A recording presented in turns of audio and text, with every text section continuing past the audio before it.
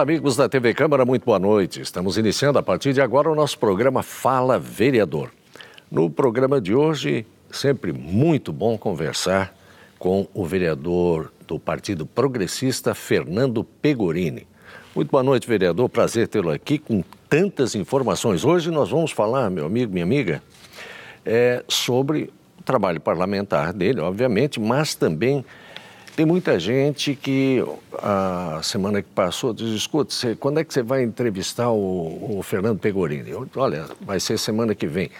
Então, tem uma série de perguntas aqui do, sobre a questão federal. Pode ser, vereador? Com certeza. Tem muita coisa aqui para saber a sua opinião provavelmente sejam eleitores seus também que querem saber, que não conseguem no dia a dia conversar com o senhor e gostariam de saber essas opiniões. Até é muito, muito salutar. Eu, eu gostei dessa situação e, inclusive, começa hoje um período de entrevistas aqui no nosso programa com os demais senhores vereadores, abordando a questão federal, sim, para saber a comunidade itajaense o que pensa o seu vereador a respeito disso tudo que está acontecendo pelo Brasil. Prazer tê-lo aqui, bom demais, boa noite, senhor.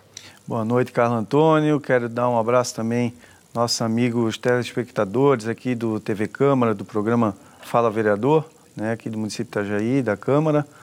E fico à disposição para a gente poder conversar hoje nesse bate-papo né, sobre a, a questão federal, a política nacional, né, a política municipal que também. Coisa, é, é, bom, a municipal está se avizinhando aí, outubro e Com tal. Com certeza. Se sair o Carlos Antônio está falando bobagem. Não é, não. Tem situações aí que já estão falando no Congresso sobre eleições para presidente, seria transformado em eleições gerais. Vamos saber do senhor aí se a Constituição permite, o que, que o senhor pensa a respeito, enfim. Mas antes, vamos iniciar aqui pelo seu trabalho parlamentar. Na verdade, o senhor eh, tem vários eh, requerimentos, tem várias uh, proposituras aqui qual seja, por exemplo, a questão de terceira, quarta vara criminal uh, para a comarca de Itajaí. Uma proposta, a coisa está tá necessitando mesmo, vereador? Né? Carlos Antônio, é, realmente foi uma proposta já do final de, do ano de 2015, né, que Perfeito. colocamos aqui na Câmara de Vereadores e foi aprovado por unanimidade. Pedi até que todos os vereadores subscrevessem para que tivesse grande força aqui para o nosso município né? Nós temos uma grande dificuldade aqui no município de Itajaí, na comarca de Itajaí. Temos duas varas criminais aqui no município e uma vara de execuções penais. Né? Então, a, grande morosidade que, que a gente está tendo dentro do Poder Judiciário de Itajaí, né? isso em conversa com vários colegas advogados, que colocam, inclusive, da pauta né, para uma audiência que, é, por exemplo, aqui do ano de 2016, a audiência ela vem acontecer daqui a um ano e meio, dois anos. Então, chega nessa audiência daqui a dois anos, às vezes, por alguma circunstância, se, se não tiver o defensor na audiência, alguma circunstância daquela ilegalidade, às vezes é adiada aquela audiência por mais dois anos. E aí acaba alguns crimes né, se prescrevendo e gerando a impunidade né, de, desses, desses réus aí que... Pelo decurso de prazo. Pelo decurso, pelo decurso de prazo. Então, por conta disso, né, a gente solicitou ao Tribunal de Justiça de Santa Catarina para que é, trouxesse mais uma vara criminal aqui para a comarca de Itajaí para a gente poder minimizar esse tipo de problema aqui na comarca, né, para que não gere mais impunidade né, é, do que já está acontecendo aqui no nosso município e região. É, voz corrente que os juízes têm pilhas e pilhas de processo e não tem como, a coisa não, não anda, né? Com certeza, né? Eles, é, é, para que isso corra melhor, a gente precisa de mais uma vara, mais, porque vão, uma vara. automaticamente vão ter mais funcionários para poder movimentar, né? A gente precisa distribuir isso, a população está crescendo, né, constantemente, aqui em Itajaí principalmente, uma das cidades aqui de Santa Catarina que mais vem crescendo. A população cresce e o poder judiciário automaticamente, proporcionalmente, ele tem que crescer junto. Mas né? essa então... situação, essa situação, por exemplo, dos juízes com muitos processos para julgarem, enfim, eh, não é, digamos, uma situação só de Itajaí. Isso é no país inteiro, não é, vereador? No país inteiro. É, e, só que aqui claro a nossa região a gente sente que o índice de criminalidade ele está maior por ser uma região litorânea. Né? As pesquisas apontam isso, né? que as regiões litorâneas ela, é, têm um índice maior de criminalidade do que as regiões do oeste e centro-oeste do, do estado. Então a gente precisa dar uma reforçada aqui para o litoral, principalmente aqui na nossa região de Itajaí, é, que é o pedido aqui para a nossa comarca de Itajaí, e as demais cidades aqui da região. Tem outra situação, de duas formas. O senhor colocou propostas nessa casa também com relação ao Sejusc. É isso? Isso. O que, que matérias é, são essas? O Sejusc foi solicitado primeiramente, ele é um centro né, de, é, de, de, mediação e arbitragem assim, de conflitos pré-processual. É, Antes de, de que tenha algum processo se faz uma mediação, uma arbitragem com essas pessoas. Né? Isso é coordenado uh, pelo, pelo Tribunal de Justiça também, através da coordenação dos juizados especiais do, do Estado de Santa Catarina. E também isso vem, até porque o novo CPC, o novo Código de Processo Civil, ele vem é, tentando buscar um, um, não litígio né, do, do dia a dia. A gente já, dentro da faculdade, a gente aprende muito litígio ah, vamos, vamos botar a pessoa no pau, né? É, qualquer coisa é entrar com ação judicial. Mas é, a gente já tem que buscar mais essa prática de poder negociar, de poder é, fazer com que não tenha o litígio judicial. E esse Sejusc, ele vem é, com treinamento, né? é um convênio feito com o Tribunal de Justiça, eles fornecem todo um aparato né? E já Brusque e, e também Blumenau fazem uma parceria do Tribunal de Justiça junto com as universidades. Né? Eles utilizam acadêmicos do curso de Direito para poder fazer essa mediação, esses conflitos, fazer de forma que, que possa não chegar até o Poder Judiciário. Né? Eles possam é, intimar as duas partes e tentar fazer uma negociação e ali ele sai com vai, um, um, acordo. O que vai minimizar um extra, a situação a situação judicial, né, do, do, do acúmulo de processos. Não é? Justamente. Mas essa situação, o senhor fala uh, em bases cíveis, e, mas tem fazendária também. Sim. É, naquela oportunidade, uh, aprovamos a parte civil aqui no município de Itajaí e, e teve uma resposta do tribunal positiva já, né, para poder é, trazer essa demanda e fazer uma parceria junto com a Univale. Foi esse pedido que a gente pediu para fazer com a Univale. Hoje, é, vamos discutir na Câmara de Vereadores aqui essa semana uh, um, um, novo requerimento, que é uma situação uh, que Florianópolis, a capital, teve agora uma discussão. Semana passada eles fecharam um convênio da Prefeitura de Florianópolis com o Tribunal de Justiça para poder fazer um sejusc para mediação de conflitos antes de entrar na fase de execução, né? Porque é, é, é, fazer essa mediação de, de conflitos, né, essa Sim. negociação entre a prefeitura e a população com, com relação às execuções fiscais. Que também, na verdade, né? eu acho uma grande ideia a partir do momento que ao município, seja qual for o município, não interessa a questão processual, interessa que o município receba. Nada mais salutar do que haver um, um, uma mediação de repente o, essa pessoa possa intermediar de forma que fique bem a quem deve e a, ao município que é o, o cobrador, não Com é? Com certeza. E aqui no município, por que a importância, Carlos Antônio, de a gente trazer um, um Sejusc em matéria fazendária para o município de Itajaí? Nós temos aqui, eu busquei informações que em torno de 50 mil uh, execuções fiscais só aqui no município em trâmite. Né? Então, é, são situações que muitas delas não estão é, tendo é, fica aquela morosidade fica fica empurrando para frente e a coisa isso não se resolve também né? né? isso tanto para o município é, diminui a arrecadação do município porque a pessoa fica devendo ainda claro. o contribuinte e também às vezes o contribuinte ele quer pagar mas não sabe como e aí nós temos lei complementar municipal que já é, dá a possibilidade de fazer o parcelamento, né, então que podemos utilizar é, subsidiariamente nesse caso. Ele pode ser é. beneficiado. pode ser beneficiado, ele pode pagar até em, em torno de 60 parcelas. Eu acho Imagina. que é muito interessante e falta essa divulgação, às vezes, para o contribuinte. E né, nessa forma de fazer uma intimação e trazer para uma audiência, poder conciliar o poder público com o contribuinte, eu acredito que a gente minimizaria muito esse número de ações em trâmite aí no, no Judiciário. Essas, uh, deixa eu entender, uh, vereador, essa dívida, por exemplo, uh, do Carlos Antônio para com a Prefeitura, isso implicaria em todas as áreas, digamos, IPTU, essas situações, envolve essas situações todas? Todas. É, em matéria fazendária, inclusive matérias indenizatórias. Né? Uhum. O que tem de, de processo do município contra o contribuinte ou do contribuinte contra Sim. o município, isso tudo pode, ter, pode acontecer a negociação, a mediação uhum. né, do conflito, sem que ele chegue à, à esfera judicial. Judicial. Tomara que o senhor consiga, junto aos nobres edis, a aprovação disso para que logo, logo nós tenhamos aqui no é, município essa situação. O importante, Carlos Antônio, é que a gente já vê que tem um precedente.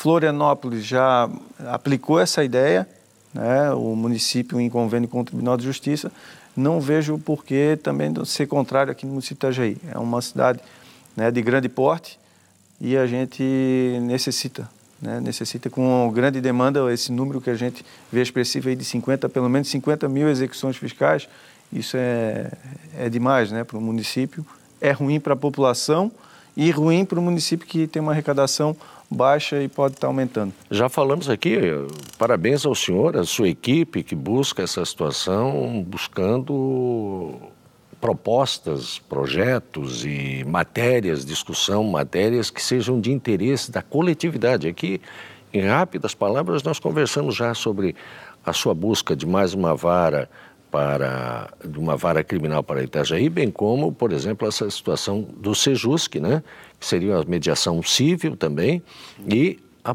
a própria mediação fazendária. Então vamos falar sobre esta casa de leis aqui. O senhor é, fez, participou da CPI o ano passado, que ao final, aliás, ao início desse ano foi complementada, né? Foi dado por findo a CPI, por fim da CPI.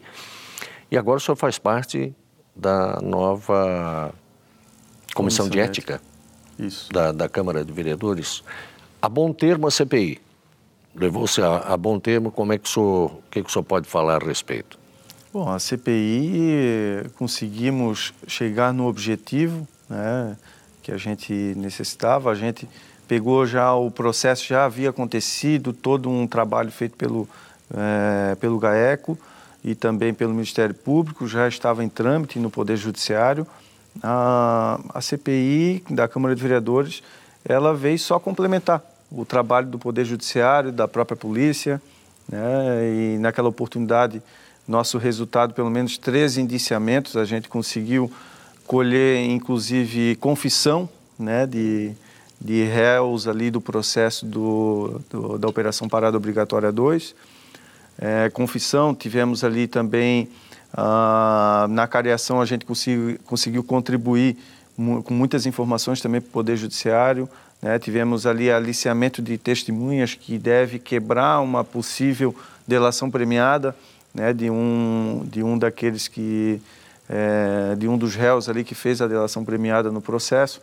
Então, tem várias coisas que a gente veio complementar. Isso foi um grande aprendizado para mim, né? como jurista é, é uma, grande, uma grande experiência né, poder participar diretamente. A gente sempre estudou sobre CPI dentro da faculdade, né, no, no direito constitucional, mas vivenciar isso para mim. Aí o senhor já entrou é, nela aqui. É, então vivenciei, isso para mim foi um grande aprendizado. E na comissão de ética agora, qual é o seu cargo? É, hoje, é, eu, a comissão de ética foi aprovado um novo projeto de lei aqui nessa casa e o presidente da comissão de ética é o vereador Cleiton Batschauer e eu vou alternar junto com o vereador Acácio, né, um, tem alguns casos já que estão em trâmite na comissão de ética, uma, a relatoria em um caso será feita por mim, no outro caso será feito pelo vereador Acácio, o outro caso, então vai ser alternado, né, a relatoria novamente é, trabalhar com relatoria, agora numa comissão de ética. Tem alguns casos já em trâmite aqui nessa casa, Encamin... fizemos todos os encaminhamentos já, né, de defesa preliminar para todos aqueles que foram devidamente denunciados aqui para esta casa.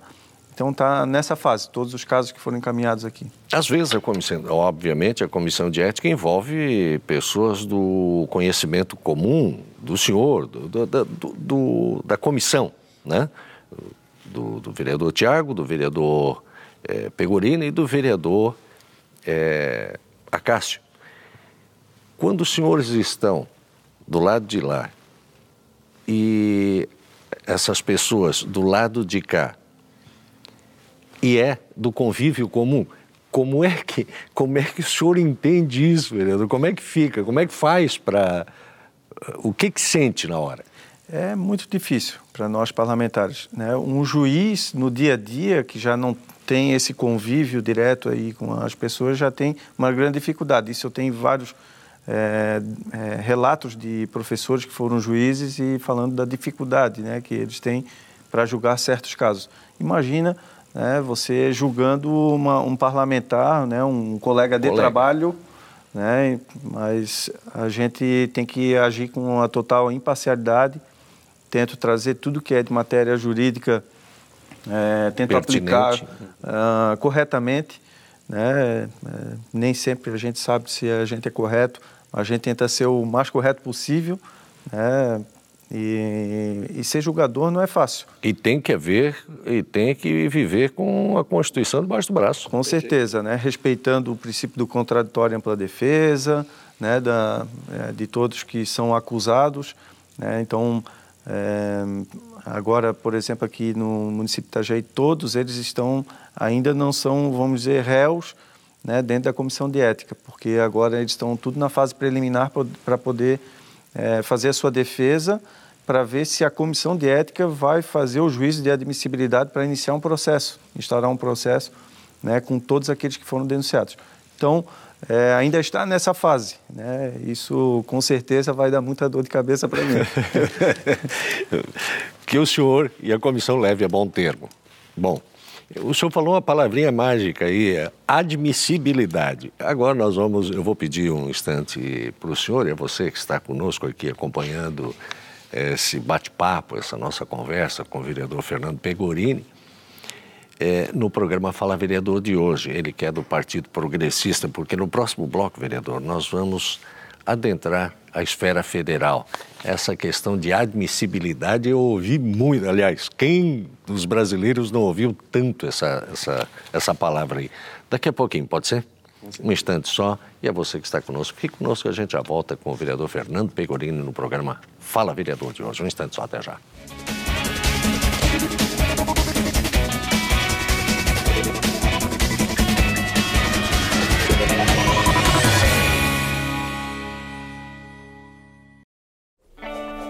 Repolitizar é a nossa nova maneira de fazer política. A Câmara de Vereadores de Itajaí definiu medidas sérias nessa atual gestão. Com o Plano Câmara Sustentável, houve uma reforma administrativa e tivemos uma melhor gestão de recursos. Isso rendeu economia de 30% na verba anual da Câmara e foram devolvidos mais de 10 milhões de reais para a Prefeitura. Isso mostra uma gestão eficiente, comprometida e com resultados consistentes. Venha com a gente repolitizar.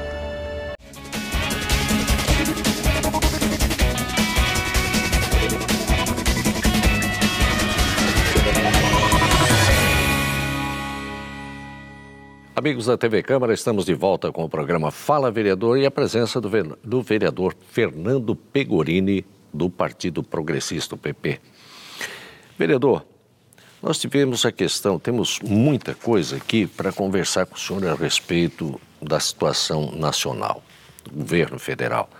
Mas eu gostaria, antes de adentrar a isso, o senhor que é advogado, é, que o senhor nos dissesse as suas impressões a respeito da situação. Falou-se muito na admissibilidade para, do processo na Câmara dos Deputados, depois para o Senado. Aí, para a Câmara dos Deputados, não, houve que se que dirigirem-se ao Supremo Tribunal para que fosse combinado ou fosse acertado qual o rito que deveria ser obedecido. E agora tem o rito no Senado. Afinal de contas, o rito estava certo na Câmara e como vai ser daqui para frente, vereador? Bom, é, com relação ao rito do impeachment, eles é, fizeram um encaminhamento, inclusive, muito parecido com o rito de 1992, que foi o impeachment do Collor. Né? A, a, o STF é o guardião da Constituição Federal. Então, o STF, como a Câmara entendeu fazer é, de um modo e, e teve que encaminhar para ter essa admissibilidade de como seria o rito. Né? E o STF, como é o que dá a palavra final, é o guardião da nossa Constituição Federal, ele estabeleceu como deveria ser o rito. Né? O rito ele ficou muito parecido com aquele já, já feito em 1992. Então, a Câmara, né, por si, ela, a gente veio para abrir um impeachment, né, é, é, é muito complicado, né? precisa de pelo menos dois terços né, da Câmara para autorizar para o Senado Federal é, essa admissibilidade do, da, da, abertura do processo de impeachment. É, e, e, foi o que aconteceu. Teve a pressão popular, é, a, a, discussão de alguns juristas renomados aí no mundo jurídico, é, entendo que foi pertinente. Eu, no início, era contrário à abertura do impeachment, porque apesar de saber que infringiu a lei, né, a gente sabe que o, quem detém essa a, a, máquina pública não é fácil trabalhar com lei orçamentária né, e acaba sempre derrapando e passando um pouquinho dos limites da lei de responsabilidade fiscal. Né, e foi o que aconteceu com a presidenta, com a presidente Dilma Rousseff, né, aqui no nosso, no nosso país, e só que ela não ultrapassou um pouquinho, ela ultrapassou bastante esses limites aí da lei de responsabilidade fiscal e isso é um ato de improbidade, né? Os atos que estão estabelecidos ali no artigo 85 da Constituição Federal, né? Que é um dos motivos que ele não pode é, passar dos limites da lei orçamentária, né? Ele tem que agir com probidade. E isso tudo né, motivou esse pedido do, dos juristas aí que são renomados, né, e houve, inclusive o Miguel Reale, né, foi um dos juristas, né, ele muito renomado, muito conhecido né, nacionalmente. Hélio Bicudo. O Hélio Bicudo, né, e, e, teve mais uma jurista que agora não, não recordo o nome. E é, foi, foi por isso que motivou, mas a gente vê que a nível nacional teve uma grande pressão popular. Eu acho que o fato de passar o impeachment foi mais pelo a própria questão da Lava Mas Jato. houve, vereador... Isso foi o que o empurrão final. Houve a questão, então, o rito para a admissibilidade da Câmara. Essa admissibilidade era vai para o Senado ou não vai? Foi é, a Câmara autoriza, foi né? autorizou ir para o Senado. Bom, chegou no Senado, aí houve também uma votação que seriam 41 ou 42 votos necessários dos senadores para que também julgaram uma admissibilidade Isso. para afastamento. Agora me parece que são quatro meses que fica a presidente afastada. 180 dias. 180 dias. Isso. E para então haver a, o julgamento disso, não é? Isso. Ah, então, essa admissibilidade do Senado seria como um recebimento da denúncia. Agora tem o processamento, né, foi autorizado pela Câmara, quórum qualificado, Perfeito. dois terços, e no Senado já era quórum simples, né, 50% mais um dos que estão presentes no, no Senado.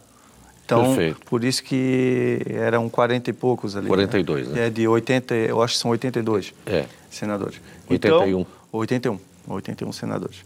Então, é, já é um quórum né, mais simplificado. Mas agora o quórum aumenta para a votação. Isso, ele já agora, é, porque era um quórum mais para agora para admissibilidade, é Sim. é como se fosse um recebimento, recebimento da denúncia do Perfeito. juiz, Perfeito. do juízo. Sim. Então, agora, é, ele já começa a partir de uma parte política mais para um processo, um processamento judicial. Por isso que, no final, para o julgamento, quem preside o Senado é o presidente do STF vai ser os senadores que vão continuar ali, né, votando. Mas quem vai presidir o Senado é o presidente do STF. Essa sessão no julgamento. De, a sessão, Na sessão de, julgamento, de julgamento. De julgamento. Agora é feito um processamento, né, para ver toda. Vai ter os debates, o princípio do contraditório ampla defesa respeitado, né, que vai ser feita a defesa também da, da presidente, mas ela é afastada do cargo, do cargo, mas ela continua lá no Planalto. No Planalto.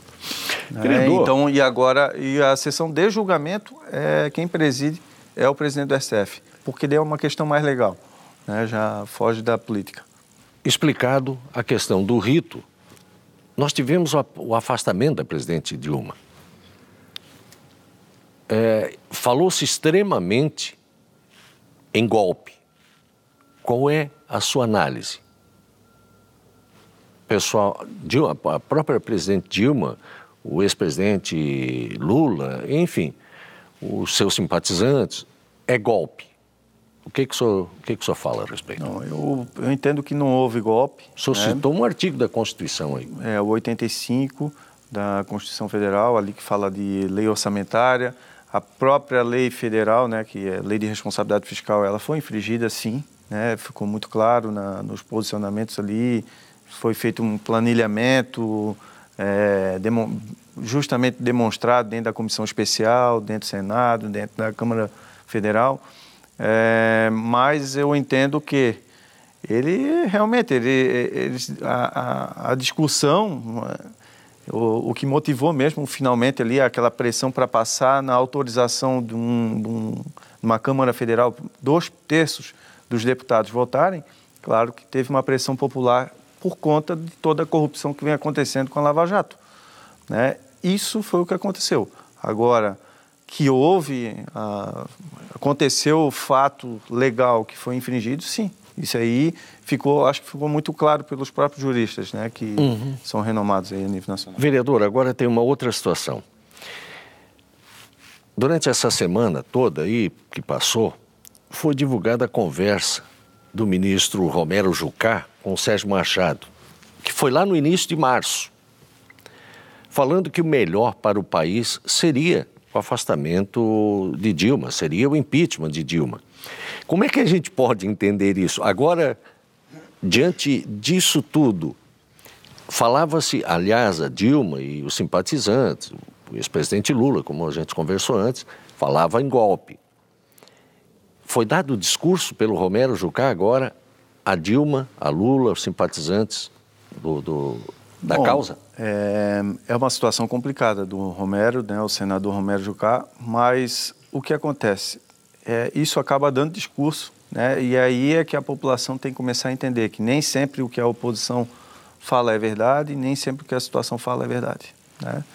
Sempre existe a verdade do a verdade dos dois lados, né? Então, o senador Romero é uma das peças que vamos dizer que são ruins dentro do do contexto. Dentro do contexto, né? Claro que ele vai ter toda agora a sua defesa para fazer é, mas eu acho que ontem ficou muito claro no Jornal Nacional ali as gravações né, do, que, do que se tratava. assim como aconteceu no caso dele, né, tanto no lado da oposição existem as peças ruins e no lado da situação existiam muitas peças ruins também. Então, é, o que motivou a, a, a, situação do impeachment não foi é, a Lava Jato apesar de ser o pontapé final. Sim. O impeachment é porque foi, teve a infração de uma, da Constituição Federal e da Lei de Responsabilidade Fiscal. Ah, uma coisa relação, não tem nada a ver com outra. Não tem nada a ver com outra. Apesar da população ter pressionado seus representantes a nível nacional por conta da Lava Jato. Tanto de um lado quanto do outro também, dizendo que não. Né? Pois é, o senhor fala em peças ruins de um lado, peças ruins de outro e tal. Michel Temer tem em seu ministério, assim que ele assumiu, ele formatou vários citados na Lava Jato, e ele sabia disso, era público. Não foi, digamos que, alguma coisa tipo atitude errônea do, do presidente em exercício? Foi um grande erro. Foi um grande erro. Ah, a questão, apesar de eu é, hoje ser jurista, entender perfeitamente sobre o princípio do contraditório, a, o princípio da presunção da inocência, né, que é um princípio constitucional. Hum, eu, eu entendo que, politicamente, a, essa fase que o país é, vinha Atravessa, passando, uhum. vem atravessando, a gente queria ter uma renovação. Né? O país todo estava esperando isso. Né? E, e, nesse momento ele pelo menos colocar sete ministros né, do, no seu, nos seus ministérios ali que estão no mínimo sendo investigados pela Lava Jato, isso eu acho que foi uma, uma grande incoerência né, do atual presidente interino. Né? Eu acho que ele deveria, apesar de ser a indicação dos partidos, essa é a grande dificuldade, foi a gente vê que a maioria deles são líderes dos partidos, né? Eu acho que os próprios líderes deveriam fazer as indicações de outras pessoas que pudessem compor esse cenário e demonstrar essa renovação que a população tanto quer. Vereador, eu tenho tantas e tantas perguntas aqui, eu já estão me sinalizando que está para acabar o tempo aqui, não é possível. É, a conversa está boa aqui, está mais tempo, pede para o Abelardo lá, um abraço ao Abelardo e ao Luiz Roberto, obrigado também, companheiros de trabalho que levam a hora este programa. Mas eles cortam a gente lá, sabe? É.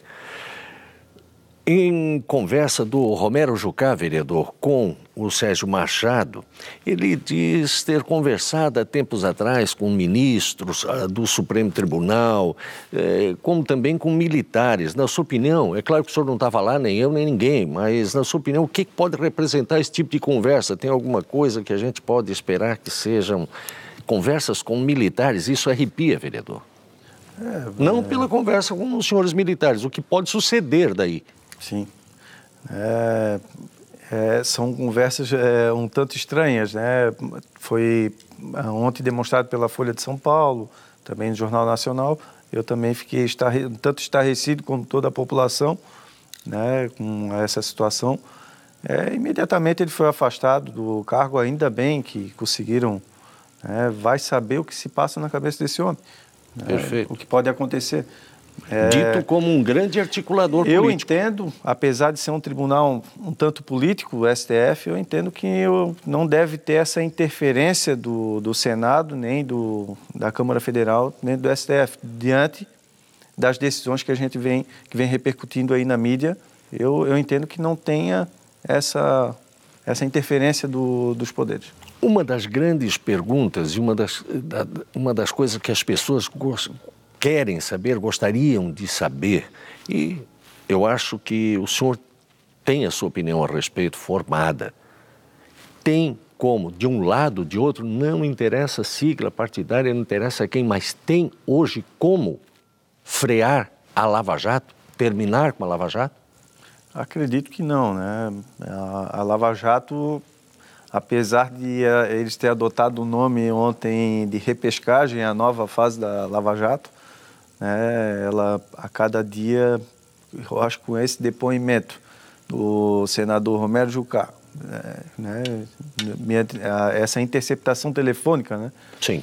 Né, com, com, a, com, um dos membros ali da Transpetro, né, o presidente, se eu não me engano, o atual, o uhum. antigo presidente, é, vai caracterizar, deixou, acho que a polícia aí com a pulga atrás da orelha, né? O próprio juiz Sérgio Moro, com certeza. Se a população já está com esse sentimento, eu imagino é, que a própria polícia e o, e o magistrado, eles com certeza vão continuar essa investigação. Não tem, não, corre não tenha dúvida, não tenha dúvida que isso vai continuar. Tomara que não. Apesar de que vão ter que construir cadeias. Com certeza. Que vai sobrar pouca gente lá, vereador. Com certeza. Vereador, tá certo. Muito obrigado ao senhor. Que pena, mas em breves dias a gente estará de volta aqui conversando sobre este e tantos outros assuntos, como o seu, o seu trabalho parlamentar, é, aqui com os nossos telespectadores da TV Câmara do programa Fala Vereador. Foi um prazer muito grande tê-lo aqui hoje no nosso programa. Obrigado, uma boa noite, vereador. Obrigado para ti, Carlos Antônio, sempre muito né, atencioso com nós vereadores e deixa um abraço a toda a população itajaiense e nos colocamos à disposição para poder ter novos bate-papos e a gente poder discutir aí sobre assuntos pertinentes à nossa cidade, sobre a política municipal e nacional. Com Obrigado. certeza, bom demais saber do seu trabalho, sempre na busca da melhor qualidade de vida pela nossa gente, a gente de Itajaí, junto com a sua equipe. Saúde para o senhor e a sua equipe para continuar esse trabalho aí. Muito e nós, sobre todos esses assuntos aqui, vamos voltar de outras oportunidades. Obrigado ao senhor e a você que esteve conosco até o presente momento, hoje no Fala Vereador, com a presença do vereador Fernando Pegorini, do Partido Progressista PP. Obrigado e uma grande noite. Até o próximo programa, amigos.